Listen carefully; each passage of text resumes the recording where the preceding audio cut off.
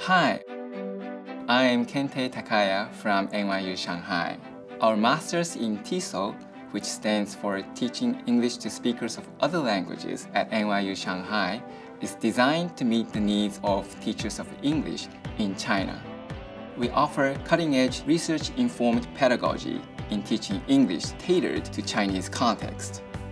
Our faculty members are from diverse backgrounds and they all have experience teaching Chinese students.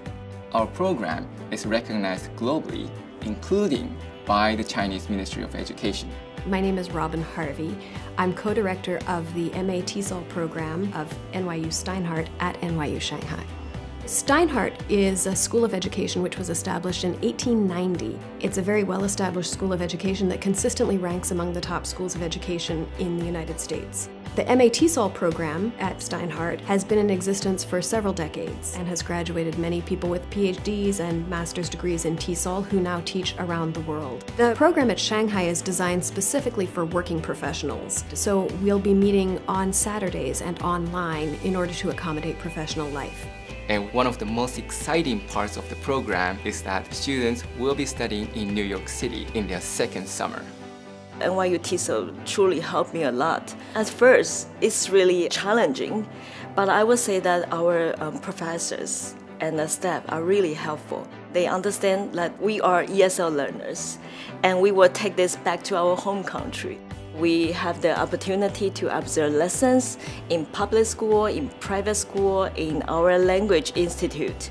I really lack of the confidence to speak in public or in the classrooms. But in NYU TESOL, you need to speak a lot. I need to try to conquer this so I can help my students, my learners. Now I work as a position of Kunshan International School principal. It's a K-12 day and boarding international school, accommodate uh, domestic and international students, about nearly 2,000 students. I used it to get my dream job in one of my dream schools, and I'm currently working as an English teacher in Shanghai East Foreign Language School, affiliated to Shanghai International Studies University. When I was a student in NYU TESOL, we had a lot of activities. We had uh, workshops, and we also had a lot of observation to do because language is just everywhere. So you need to learn it everywhere in every way, and that's how you get yourself fully equipped. In the classroom, our professor will encourage us to talk, to discuss, to share different opinions. And so we learn from each other. We listen, we learn, we talk, we discuss. And then I feel like my language skills definitely booming in that certain period of time.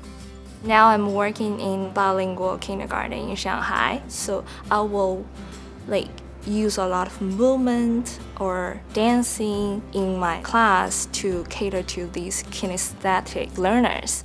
But also I will incorporate music or rhymes or chants for those more like auditory learners. That's one thing I learned that is most important from TESOL program. TESOL actually helped me to get my job and I'm currently developing a English learning program. It's an online program. I learned English for like more than 10 years. In traditional way in China, actually most of the time you just learn English as a subject, then you know how to do the tests. So people will be very good at like testing, but if you have to use it, that's a totally different story. In that immersion environment, actually, you, you have to speak English, you have to write English, you have to just communicate with other people, and then you finally got it. So the most difficult part actually was like talking on phones.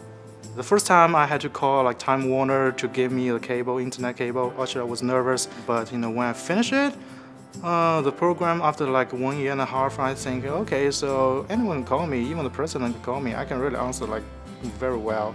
NYU program cultivate me into the person that I've become now.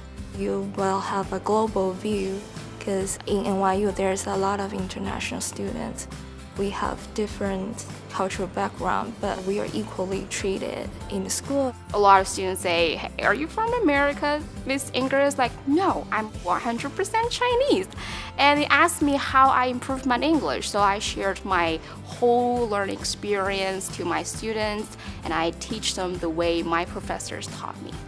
I couldn't have done it without everything I've learned from NYU.